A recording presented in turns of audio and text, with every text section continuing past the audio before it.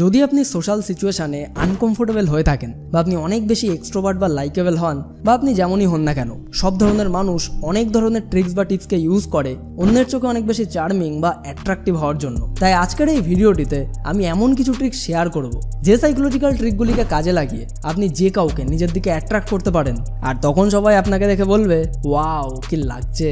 তাই ভিডিওটা একদম শেষ পর্যন্ত অবশ্যই দেখুন। সো চলুন শুরু করা যাক। The tips number one, don't present yourself as a perfect person. আজকাল ইন্টারনেট আর সোশ্যাল মিডিয়ার ফেক পৃথিবীতে, যেখানে এত সব বড় বড় সেলিব্রিটিরা তাদের আনহেলদি স্কিনকে মেকআপ দিয়ে ঢাকে, নিজের খারাপ জিনকে কসমেটিক সার্জারি দিয়ে ঢাকে, সেখানে প্রত্যেক মানুষের ভেতর একটা ইচ্ছা বেড়ে যাচ্ছে অথেন্টিক বা ইউনিক জিনিসের জন্য। কারণ যে কোনো ফেসকে পারফেকশন পর্যন্ত নিয়ে যেতে, আর সেই ট্রেন্ডকে অতটা পপুলার বানিয়ে দেওয়ার জন্য প্রত্যেক ফেসই এখন একই রকম দেখতে লাগে। কিন্তু যেসব ফেসে ন্যাচারালি কোনো সৌন্দর্য থাকে, সেটা সেই মানুষটিকে সাইন্টিফিকলি পারফেক্টের থেকে অনেক বেশি অ্যাট্রাকটিভ বানিয়ে দেয়। আর এই কারণেই আপনি যদি চান যে আপনাকে অনেক ভালো দেখাক তাহলে নিজের হেলথ এবং পার্সোনালিটির দিকে ফোকাস করুন। নিজেকে একজন এমন মানুষ না দেখিয়ে, যে একদম perfect tips number two don't be an easy pick এমনটা করার জন্য আপনাকে প্রথমে এমন স্টেজে পৌঁছাতে হবে, যেখানে আপনি অন্য সমস্ত লোকেদের জন্য ডিজায়ারেবল যার জন্য আপনাকে কঠোর পরিশ্রম করতে হবে।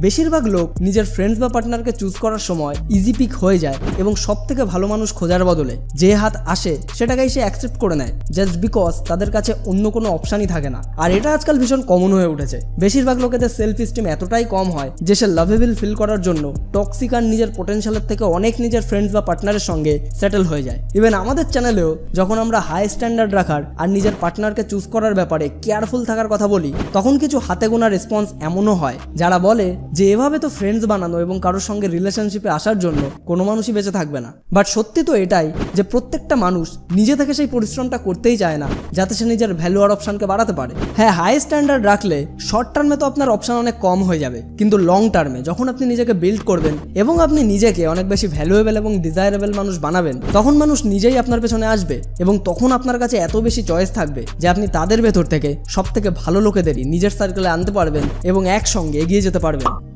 Tips number three be confident not rude এই রুডনেস আসলে কনফিডেন্সের মিমিক্রি হয়ে থাকে। যেসব লোকেদের ভেতর কনফিডেন্ট কম হয়, তাদের সেলফ স্টিমও অনেক কম হয় এবং তারা এটা বুঝতে পারে না যে কাউকে কি বলব বা কি করলে তারা অনেক বেশি কনফিডেন্ট দেখাবেন এবং তাদের কোন কোন অ্যাকশনগুলি সোজাসুজি খারাপ ম্যানার্সে কাউন্ট হবে। অর্থাৎ এইসব লোকেরা এই দুটো জিনিসের মধ্যে লাইন ড্র করতে পারে না। কিন্তু প্রত্যেক মানুষই কিন্তু সব দিক থেকে কনফিডেন্ট দেখানোর নাটক অবশ্যই করে থাকে। জাস্ট বিকজ ন্যাচারাল আর রিয়েল কনফিডেন্স অনেক বেশি অ্যাট্রাকটিভ অ্যান্ড চার্মিং হয়ে থাকে। এই কারণেই আপনার প্রত্যেক অ্যাকশন আর ডিসিশন সাহসের সঙ্গে নিন এবং নিজের উপর রিলাই করুন কোনো এক্সটার্নাল হেল্পের উপর ডিপেন্ড না করে এবং নিজের থটকে অলওয়েজ ক্লিয়ার রাখুন, তাকে বোকা এবং আনক্লিয়ার বানিয়ে না রেখে। এর সাথে আপনার বডি ল্যাঙ্গুয়েজকেও ওপেন রাখুন এবং লোকেদেরকে আপনার সঙ্গে কথা বলার জন্য ইনভাইট করুন। আর এর মাধ্যমে একজন মানুষ শুধু কনফিডেন্টই নয়, বরং ক্রাউড বা ভিড়ের মধ্যে সবার থেকে আলাদাও দেখতে লাগে।